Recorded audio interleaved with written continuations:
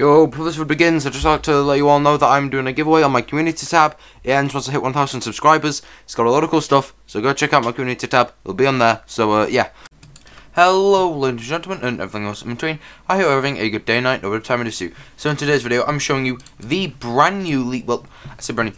They're technically brand new, but they're not out yet. So, basically, uh, what's going on is, as you know, recently there's been a competition to see the top 15 uh, prehistoric based doodles that can be added, or well, extinct doodles. Now, I'm really excited over this because for those of you who don't know, uh, I don't exactly want to do YouTube when I'm older. It would be cool if I could. I don't think I'm going to get there though. Maybe. But if you think I might get there, subscribe.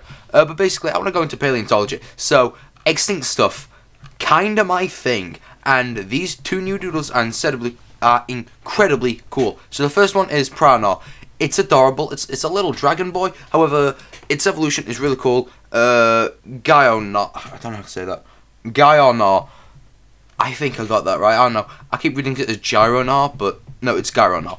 So it's the line is based off the Plesiosaur and some elements of the Mosasaur as well.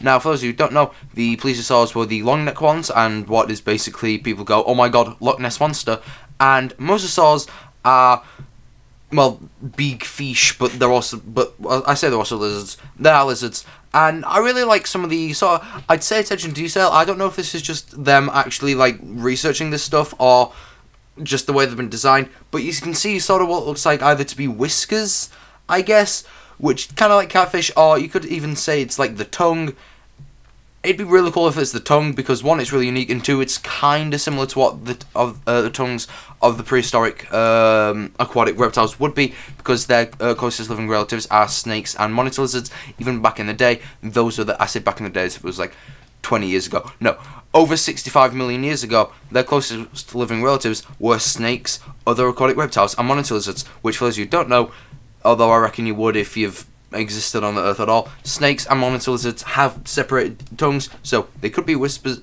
whispers, whiskers, which honestly I wouldn't mind because that's just really cool. Or it could be the tongue, although I do think they are whiskers, which also really cool design element. I'm really excited to see all of these. Also, we got a uh, other one which uh, was selected to win, which is just a dog. I can't even go into it being like a prehistoric wolf from from the Cenozoic. Wait, no, not the Cenozoic. The Holocene.